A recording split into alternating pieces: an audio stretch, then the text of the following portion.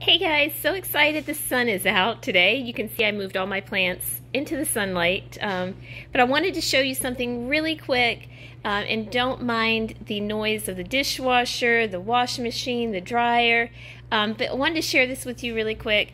So I got the Wicked Witch and Handsome Devil mug set, I guess a couple years ago now.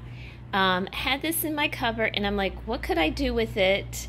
Because I, I really don't use them to drink out of, um, which I know that sounds stupid.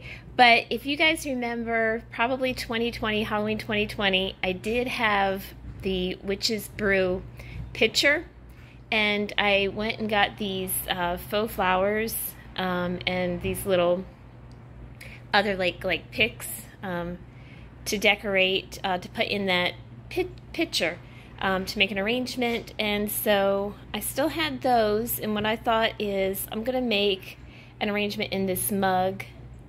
And I just got the foam um, from Walmart. It's shaped in a, a cylinder shape, and it was kind of just the height of the mug. So I started with that and just hot glued it into the bottom of the mug and then used all of these uh, different flowers that I had picked up for that arrangement.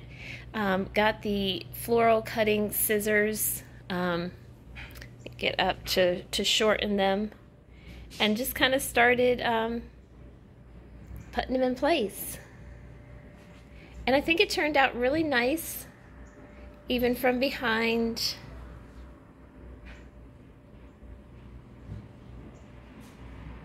So, and I don't think, I think all the spaces are pretty much covered.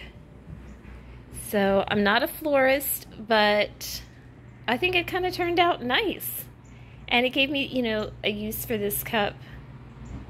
And just, you know, and all of the flowers that were kind of laying in a container. I put them to use. And I kind of like the height that it gave me here with the spiders. And then kind of extended that out with these little picks that I think these ones came from Michael's with like the little lace and the black leaves and then I tried to balance that out with um, the one in the back. So comment down below, let me know what you think. Thanks for watching guys. If you like this, please click like and please subscribe if you haven't already.